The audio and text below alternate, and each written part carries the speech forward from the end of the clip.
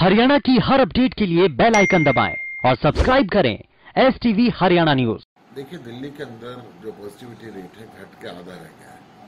परंतु हरियाणा के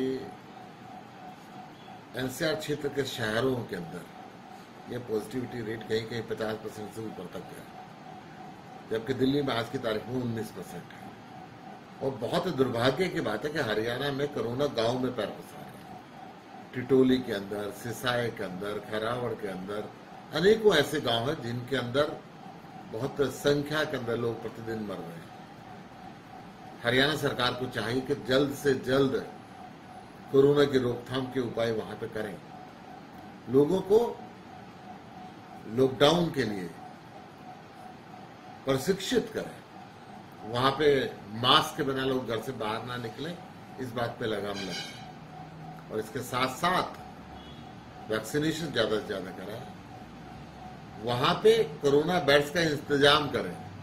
ICU beds का इंतज़ाम करें। हरियाणा में हेल्थ इंफ्रास्ट्रक्चर की बड़ी भारी कमी है।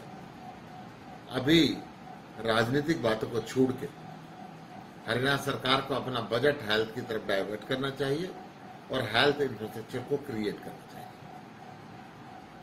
देश के अंदर कोरोना की दूसरी लहर बड़ी गंभीर रूप में आई है। पूरा हिंदुस्तान घबरा रहा है इस कोरोना से। देश के अंदर दो कंपनियाँ कोरोना वैक्सीन को बना रही है। हर राज्य कह रहा है कि मुझे वैक्सीनेशन नहीं मिल रही। अभी बुज़ुर्गों को नहीं लग पाई थी। केंद्र सरकार ने युवाओं के लिए घोषणा की। युवाओं को शुरुआत नहीं कर अरविंद जी ने कहा कि जो दो कंपनियाँ देश के अंदर कोरोना वैक्सीन बना रही हैं, इनसे फार्मूला लिया जाए, इनको रॉयल्टी दी जाए, और साथ में जो हिंदुस्तान की बाकी सक्षम कंपनियाँ हैं, वो वैक्सीन बनाए, ताकि देश के अंदर जल्द से जल्द हर व्यक्ति को वैक्सीन लगे, चाहे वो बच्चा हो, चाहे वो युवा हो, चाहे वो वृद्ध हो, और लोग अपने आप को कोरोना से सुरक्षित महसूस कर सके। मैं समझता हूँ ये अरविंद जी का जो सुझाव है, बहुत अच्छा सुझाव है।